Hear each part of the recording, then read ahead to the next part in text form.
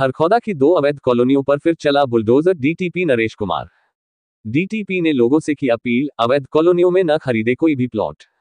सोनीपत जिला नगर योजनाकार अधिकारी डीटीपी नरेश कुमार ने बताया कि जिला में विकसित हो रही अवैध कॉलोनियों तथा अवैध निर्माण को उपायुक्त डॉक्टर मनोज कुमार के निर्देशन में शुरुआत में ही ध्वस्त करने के लिए प्रशासन द्वारा अभियान चलाया जा रहा है।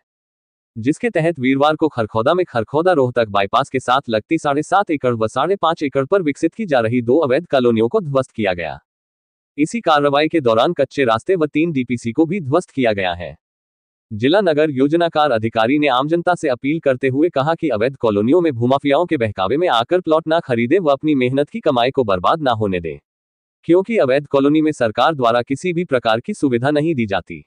इसके अलावा प्लॉट लेने से पहले यह ज़रूर जाँच ले कि कॉलोनी निर्माण करने के लिए सरकार द्वारा अनुमति ली गई है या नहीं।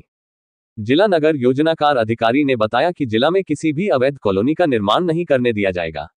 विभाग द्वारा जिला के सभी क्षेत्रों में नज़र रखी जा रही है।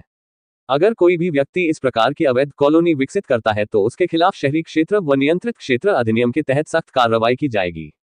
उन्होंने कहा कि इस संबंध में किसी भी जानकारी के लिए सेक्टर 15 स्थित एचएसवीपी कॉम्प्लेक्स के प्रथम तल स्थित जिला नगर योजनाकार कार्यालय में संपर्क किया जा सकता है।